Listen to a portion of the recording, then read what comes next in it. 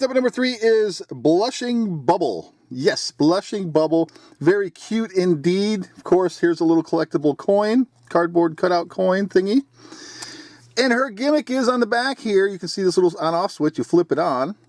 And once you get it on, you push your arms up and it makes her blush. Let's see if we can get it up close. Let's see. Can you see that blushing? You know what? Let's turn the lights out and have a closer look. And look at this. It's so cute. Look at her whole head glows.